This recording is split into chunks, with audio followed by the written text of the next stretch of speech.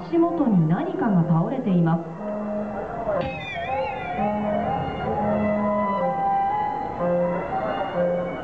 お礼にでっかい靴をあげましょう。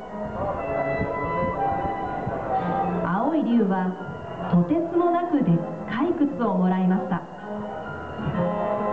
この先の道をずーっ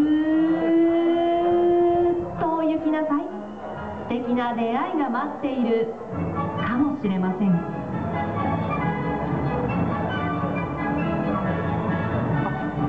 適当な道案内でしたがとにかく進んでみることにしました。